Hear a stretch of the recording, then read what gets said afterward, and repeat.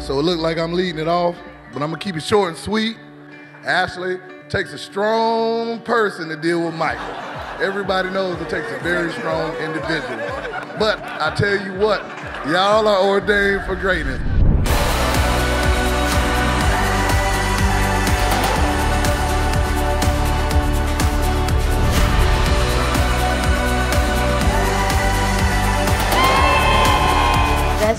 I'm so happy for you because you found a king in Michael. A man that will fight for you, that will protect you, that will keep you, that will care for you, and forever and ever invest in you. Michael, you have always been my brother. So, nothing's changed but her last name. Ashley, Nicole, Howard.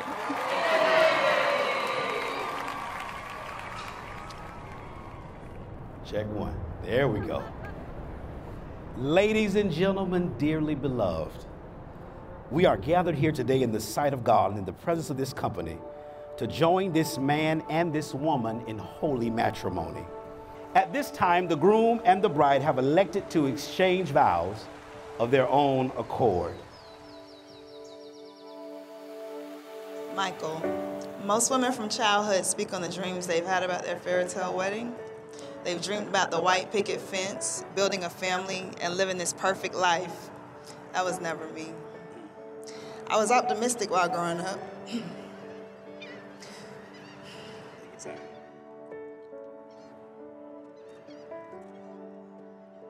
but to say that I picked you today,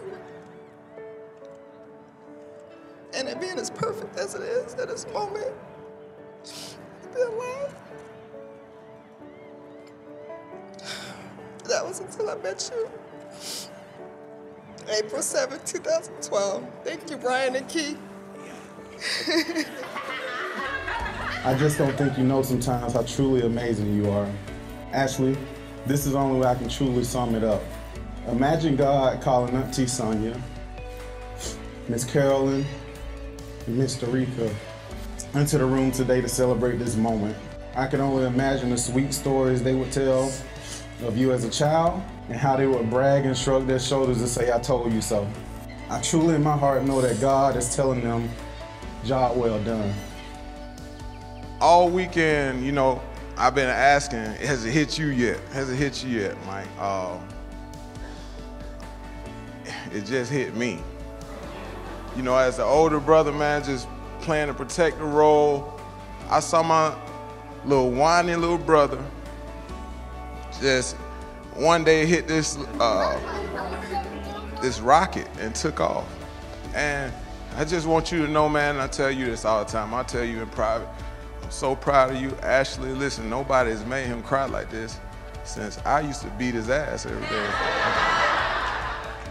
This is beautiful. I'm so proud of both of you guys, and I wish you nothing but the best. I was wrong about everything that I thought love was. Love is what we make it. Love is what works best for us.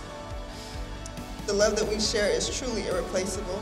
It's a once in a lifetime love and it's worth preserving.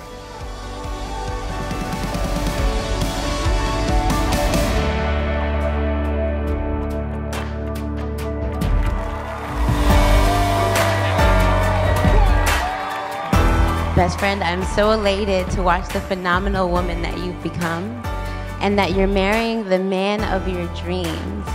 A king that complements you so well, amplifying how bright you already shine. trust in each other, trust in God, love each other, love the Lord, and communicate as much as possible. And I love you guys so much.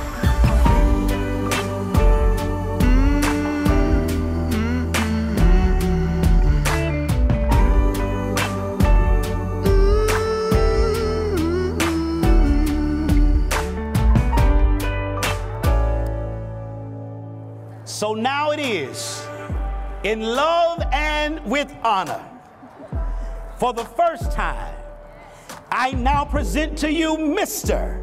and Mrs. Michael Howard. To